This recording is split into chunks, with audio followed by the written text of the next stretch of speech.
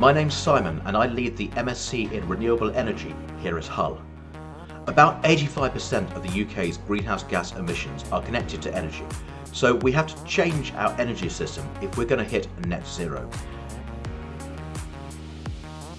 To do that by 2050, the country is going to need at least 100,000 new energy workers in the next 10 years. And that's not just engineers. From project managers to training coordinators, logistics experts to legal advisors, any role that you can imagine in a large company or industry exists in renewables. So our MSc isn't an engineering course. We'll take people from any STEM subject and some others and we aim to give you a broad overview of the industry to make you more employable.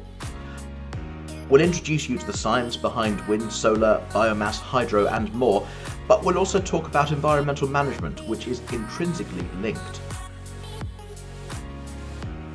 We cover the grid and maintenance approaches, government policy, but we also teach important skills like giving presentations or using GIS software. And through all of this, we try to get you as much contact with the real world as we can through guest lectures and site visits.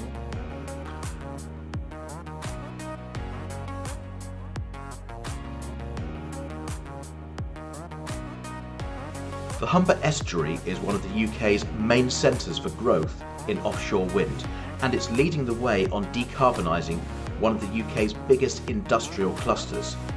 So, by studying renewable energy here, you'll be doing it right in the centre of where it's all happening.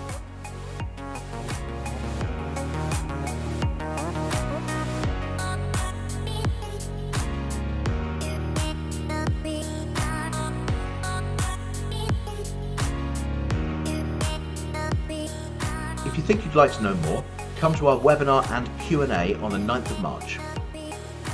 See you there.